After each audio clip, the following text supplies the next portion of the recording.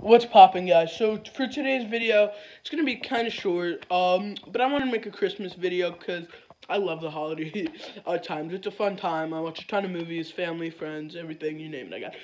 Alright, so I, I want to talk about Merry Christmas, Drake and Josh. I'm gonna be watching this again tonight, and every holiday season I watch this one at least like three or four times. I don't know, just something about the story really gets me. And by the way, Drake Bell's uh, performance is great, but let's get into La Review. Yeah, you know what I mean.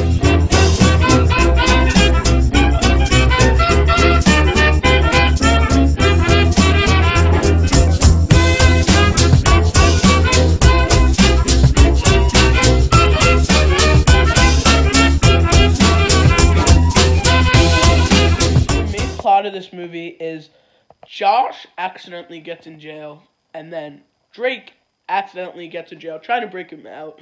And uh, at the beginning of the movie, Drake promises this girl, Marianne, that's with the foster home, hey, uh, will you give me the best Christmas ever? And he's like, yeah, sure, whatever. I'd love to give you the best Christmas ever, you know. So, so um, the judge is like, I want you to go to jail for, I think, like, 15 years, I believe. And um, Drake and Josh is like, wait, I made a Christmas promise. And then Helen's their lawyer, and she's like, you can't break a Christmas promise. Don't do it, bruh.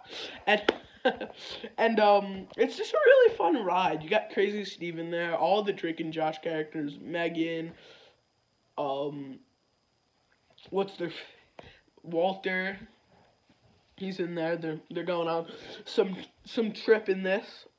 But it's just entertaining just to see it. And then there's that really mean guy that they add a little bit of characteristics to where like um he's trying to like get them arrested and he really hates Christmas and all the actors are just doing a really solid job and you could you could tell that they're trying like the first uh, 45 to an hour of this film is really just like one big uh, comedy Drake and Josh movie.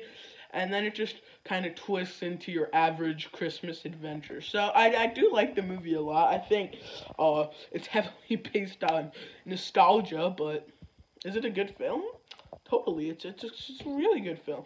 There's not a whole lot to talk about. I mean, uh, Crazy Steve, he's, he's funny as heck in this uh, Craig and Eric, they're in it a little at the beginning. Uh, Helen's in it. She's really funny in it. And then you get that whole big Christmas party at the end.